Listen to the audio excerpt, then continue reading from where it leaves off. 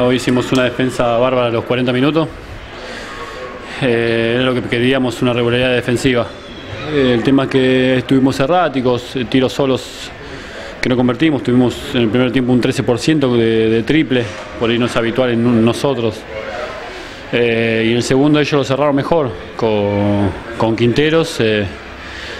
pudieron cerrarlo, nosotros no, pero bueno, este, son, son así los partidos y hay que quedarse con que que tuvimos una regularidad defensiva que, que es lo que tanto muchas veces buscamos. Bueno Martín, ahora se viene un rival directo como argentino. ¿Cómo se preparan para ese encuentro tan importante? Mira, recién terminamos acá. La verdad que eh, nos duele nosotros perder en casa nada más. Este, no puedo pensar ahora en argentinos. Ya falta una semana, ya pensaremos mañana o el lunes cuando nos encontraremos para, para entrenar.